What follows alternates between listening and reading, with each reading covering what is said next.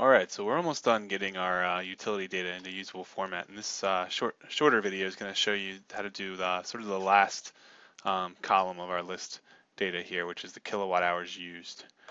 So if we go back to our raw data, um, again, the, the, goal of this is to make these are 15 minute intervals of, of kilowatt hours, and the goal is to make, and then um, each day goes down in rows like this.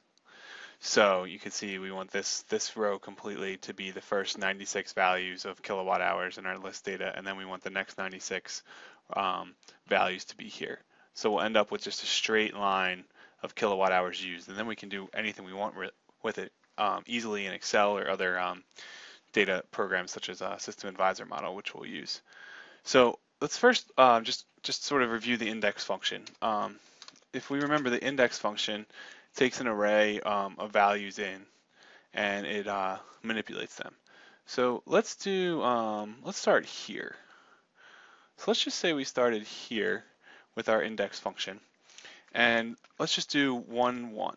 So how it works is it's the array or the, um, you know, a full matrix of values here with, with rows and columns. And then this is the row number and this is the column number. We hit enter, and uh, right now it's, it's, it says a time, so let's do a number.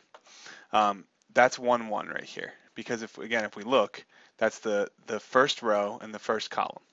So let's just um, update the row. Let's do the fifth row, and let's not update the column. So what happens is, is that's one, two, three, four, five, and we can see if we put out a few more decimal places that it exactly matches. Then let's go back to the first row and do the fifth column. And if we do that, we can see that one, two, three, four, five, it's right there.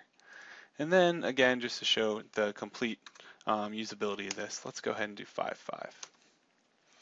Um, again, one, two, three, one, two, three, four, five, one, two, three, four, five.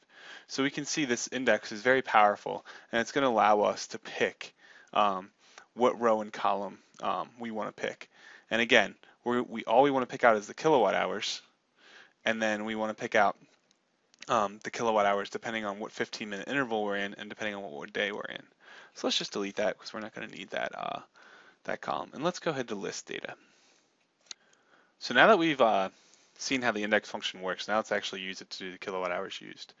So let's go ahead and do equals index, open parentheses. Now the array is going to be all the numbers from this spreadsheet. So we're going to start with the first number we're going to use and then go all the way to the bottom right corner of the last. Okay. And then um, the big thing about this is we want to make it absolute reference. So let's go ahead and hit F4 with both of these. And that'll make it absolute reference by putting the two um, dollar signs on either side um, comma. So let's just first make sure it works. Let's do 1, 1. It should be 9.54, which it is. Good. So then what we're going to do is we're going to um, change each of the row num and column number first. The first thing we know is that the column number is always going to be equal to the number of 15 minute intervals.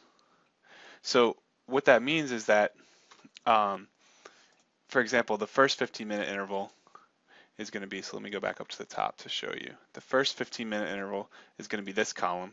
The second 15 minute interval is going to be this column. And it makes sense because you can see this is the number of 15 minute intervals. And so we're just moving along this direction with the number of 15 minute intervals. So that's really easy. So we're just going to make that equal to 1, or, or, I'm sorry, equal to the number of 15 minute intervals. And we can see that's going to work um, up until um, that's going to work up until 96. But the problem is, is that at 96, it's it's 8.13, but then it restarts over at 9.54. So really what we want this one to be is if we do this correctly, we want that one to be 8.12. So we now need to fix the column. So the column, or um, yeah, the column or the row number. Now we need to fix the row number. We just we just did the column. So the row number has to be the day, has to be the day of the year we're on. So if we look back at the raw data, our day of the year is going to be um, one here, and then when our day of the year changes, um, so it's going to be one here, it's going to be two here, going to be three here, and going to be four here. So let me just sort of make a little table in, in Word to show you um, what I mean. So, and, and so, so, this is how it's really going to work. And let me um, make it insert a table here. So what I'm trying to show is that the um, day of the year and then the row number. So we need to see the pattern here. So the first day of the year is going to be the um, number one row number. And so we can sort of see that um, from here. The first day of the year, since we start here, is going to be one row number. The second day of the year is going to be the fourth row number, and the third day of the year is going to be the um, seventh row number. Okay, so let's go ahead and put that in. So two, four, three, seven. So, and if we keep continuing this pattern, let's just go ahead and look at the fourth day of the year. So we'll insert a uh, row below so we can put that in, the fourth day of the year. If we look at the pattern, the fourth day of the year, it's going to be 1, 2, 3, 4, 5, 6, 7, 8, 9, 10. Okay, so now we have a pattern going. So, um, so what it turns out is that um, we can make a formula out of this pattern. And how we can do this is we can put the following formula. So let me just go ahead and insert it and write it in. That we're going to have that row number, let me spell that correctly, equals day